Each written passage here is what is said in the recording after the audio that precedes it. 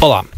Tenho a perfeita noção de que este é um tema delicado e potencialmente polémico, mas devido à sua importância, acho que deve ser abordado. A esmagadora maioria dos atiradores que conheço, sejam eles atiradores desportivos, de recreio, caçadores ou colecionadores, disparou pela primeira vez uma arma na sua infância. Uns mais cedo, outros mais tarde, mas sempre antes da adolescência. O quê? Crianças com armas na mão? Devem ter ferido ou morto alguém antes de terem chegado à idade adulta. E hoje serão certamente assassinos em série. O drama, a tragédia, o horror. Felizmente a maioria dos atiradores que conheço, para além de não serem violentos assassinos em série, são pessoas calmas, moderadas, disciplinadas e respeitadoras das regras de segurança. Claro que se pode esperar para a idade adulta para se ensinar alguém a disparar, mas desde que a criança revele interesse, maturidade e disciplina suficientes, não vejo nada de errado em ensinar-lhe os fundamentos básicos da segurança e do tiro e deixá-la experimentar. As crianças têm grande interesse em tudo o que os rodeia e aprendem muito mais rapidamente que os adultos, não oferecendo tanta resistência à informação que lhes é transmitida e apresentando poucos ou nenhum maus hábitos ou vícios que possam ter adquirido ao longo da vida. Estas são razões mais que suficientes para que eu considere que se devam ensinar as crianças a disparar desde tenra idade. Recentemente tive a oportunidade de ensinar um familiar de 9 anos a disparar e aproveito aproveito para dizer desde já que a experiência correu muito bem. Apesar de achar que ele tinha maturidade suficiente e estava preparado para aprender há mais de dois anos, apenas mostrou interesse e vontade de experimentar este ano. Não acho que se devam forçar ou impor estas coisas. Vou chamar-lhe SX. Este foi o método que segui depois do SX ter mostrado interesse em experimentar de forma repetida e continuada ao longo de várias semanas. Em primeiro lugar, expliquei-lhe que as armas não são brinquedos e que mesmo a mais fraca das armas de ar comprimido pode provocar ferimentos graves e irreversíveis. É importante referir também que se forem cumpridas as regras básicas de segurança, se podem utilizar as armas de forma segura e sem riscos para a sua integridade física ou a dos que o rodeiam. Enumerei e expliquei as regras básicas de segurança. Trata todas as armas como se estivessem carregadas. Nunca faças nada com uma arma descarregada que não fizesses com uma arma carregada. Nunca apontes uma arma de fogo a algo que não estejas disposto a destruir. O cano da arma deve apontar sempre para um local seguro, para que em caso de disparo acidental não se provoquem danos a pessoas, animais ou bens materiais. Mantenha o dedo afastado do gatilho até estares pronto para disparar. Só depois da arma estar apontada ao alvo e com a imagem de miras desejada é que se deve colocar o dedo no gatilho. Em todas as outras situações, o dedo indicador deve estar esticado ao longo da arma. Conhece o teu alvo e o que se encontra atrás dele. É fundamental garantir que atrás do alvo ou na sua proximidade não se encontram pessoas, animais ou objetos que não se pretendam destruir. É também fundamental perceber se o alvo irá fazer parar o projétil ou se este irá continuar a sua trajetória após embater no alvo.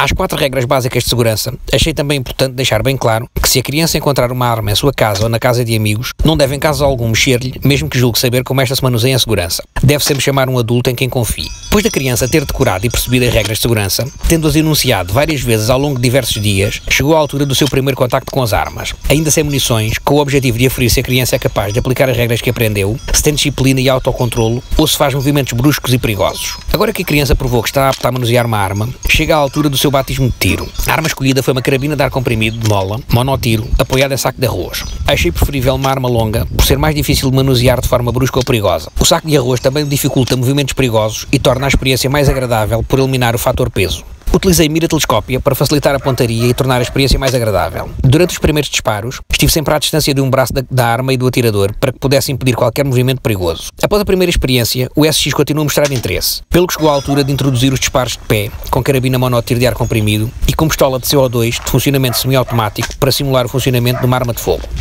Ambas as armas foram usadas com as miras abertas, após uma breve introdução à imagem de miras que se deveria ter com cada uma delas. Quando se efetuam este tipo de disparos, é extremamente importante que o adulto esteja sempre à distância de um braço para que consiga controlar e evitar movimentos perigosos. Após a criança demonstrar que é capaz de manusear a arma de forma competente, disciplinada e em segurança, pode-se dar-lhe algum espaço. Deixei o SX efetuar todas as operações necessárias ao funcionamento das armas que usou, tais como carregá-las, armá-las e colocá-las em segurança após os disparos. Tal como já referi anteriormente, a experiência não podia ter corrido melhor.